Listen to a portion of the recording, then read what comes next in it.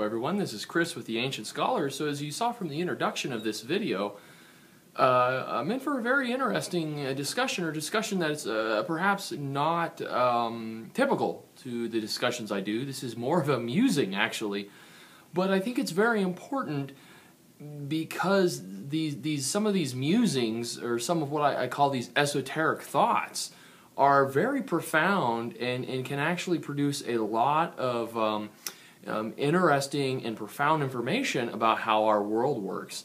And uh, certainly the, the topic that I'm going to be talking about today is, um, it would definitely fall into that, that category, into that case. And, uh, you know, this really is on line with a lot of these questions um, that, that, that, we hear uh, throughout the ages, uh, such as, why is the sky blue? What, why does my shirt have a certain color? Why um, on a smoky afternoon as the sun goes down is it's it's so red and orange and, and, brilliant in color. You know these are probably questions that, that people throughout the ages of, of, of the history of humanity have asked and we actually have the ability um, to to answer uh, to some extent. Um, a, a, lot of these basically um, what I would call esoteric or ancient questions and so what I'm going to be talking about today is something uh, known as a photochromatic lens. Um, the, the, specific lens that I showed you earlier on in the video is actually known as a transitions lens. And this lens is, the transition is actually a trademark name. So what I'm going to do is I'm just going to generic, generically call these lenses uh, photochromatic uh, just so I don't get in any trouble and just so I can cover uh, the, the, wide variety of lenses that we have out here. And I'll talk about the, the process, the most commonly used process to create these lenses. Um, of course, these lenses are nothing new. They've been around since the, the 1960s, and, and obviously the technology has, has, has pr uh, progressed quite a bit, and they're certainly a lot more efficient than they, than they were in the 60s. So uh, without further ado, let's go ahead and ask ourselves, why do these transition lenses work, or these photochromatic lenses work? So what we do is when we're manufacturing this lens, what we'll do is we'll take um, silver and um, chloride ions. Be very specific, silver and chloride ions. So what I'll do is I'll take silver as an ion, Ag+, and then chlorine as an ion, or chloride. And as you can tell uh, through the Coulombic interaction, there's, there's going to be a bonding here, and this will create an ionic bond. And, and specifically in this case, what we'll do is we'll create a crystal, a, a very tiny crystalline structure of silver um, chloride. And of course, this is a very strong bond, very small crystals. crystals. We cannot see them with the naked eye, uh, but they are there nonetheless. So then I would ask, well, what happens in the presence of ultraviolet light? And really that's how these photochromatic lenses work is they darken in response to exposure to ultraviolet light.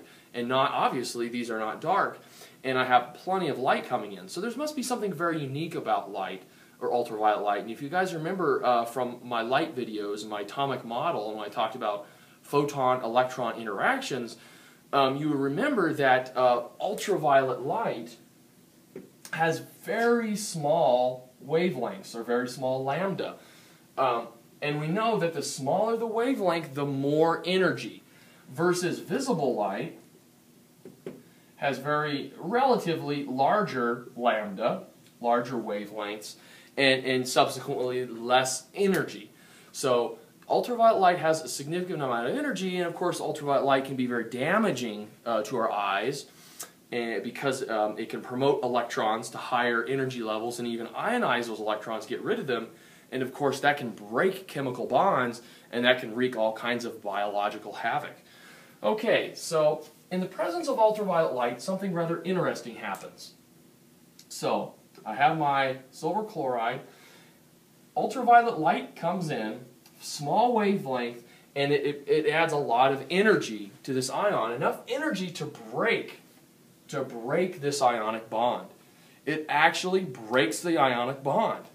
So now what I have is I have silver all by its lonesome and chlorine, or rather the silver and chlorine ions all by themselves.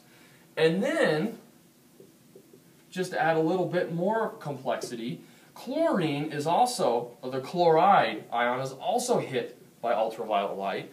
And we know that chloride, chloride has an extra electron, And when that ultraviolet light hits that electron, what do you suppose is going to happen?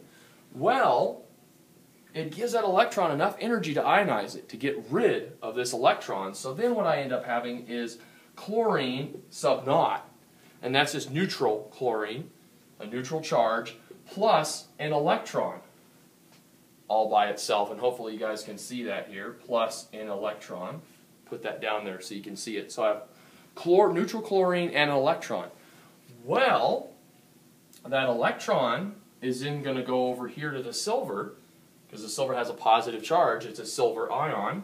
And silver is going to become neutral, and chlorine is already neutral and I have silver and chlorine in their um, elemental or their neutral state, and this these two um, elements are going to build up, and that's actually what's going to create that dark film on our glasses.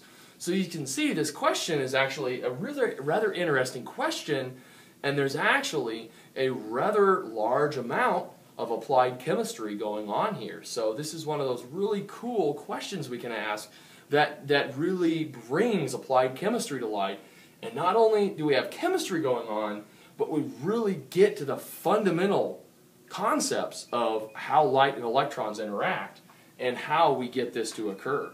Okay, guys, hopefully you enjoyed that. Okay, everybody, so that is the basic introduction to photochromatic lenses and um, how the lens uh, changes to that dark color.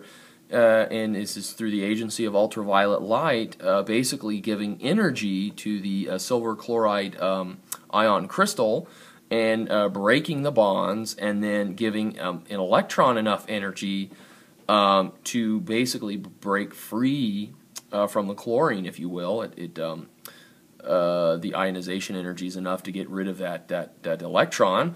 Um, so clearly, ultraviolet light actually has quite a bit of energy and then that electron can then um, combine with the uh, positively charged silver to make neutral silver, and then I have neutral chlorine, and those uh, that produces this this um, dark film um, that we see on our, our glasses. Um, in the next video, we'll go ahead and talk about how that process is then reversed, and um, hopefully you guys find this interesting. Thanks for hanging in there. Take care. Bye bye.